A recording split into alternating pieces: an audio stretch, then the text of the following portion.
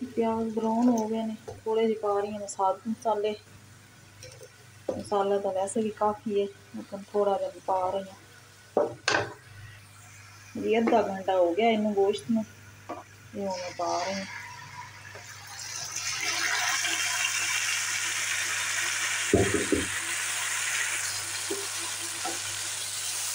प्याज के अलावा सारा मसाला मैंने ग्रहण करके पाया हुआ बस हूँ इन्हें भुनना ही है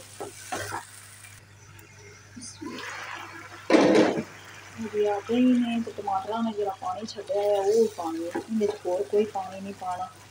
इन्हें से इनू फ्राई करना। इनका कलर वाइट ही जाना।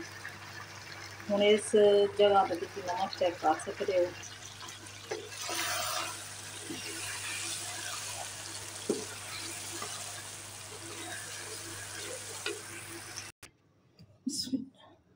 ਆਹ ਵੇਖੋ ਜੀ ਚਟਪਟੀ ਕੜਾਹੀ ਤਿਆਰ ਹੈ